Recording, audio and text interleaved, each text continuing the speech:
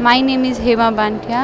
I am from Timalgiri. My husband name is Vikas Banthia. He is only the owner of this art gallery, the Picturia, the art gallery. Uh, I always uh, kept uh, oil paintings in my showroom to decorate the home of offices and all whatever. Uh, I also place order.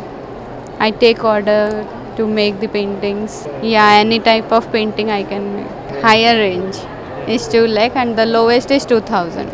Yeah, only Secunderabad I have an art gallery. The name of the art gallery is Picturia the art gallery. That's it.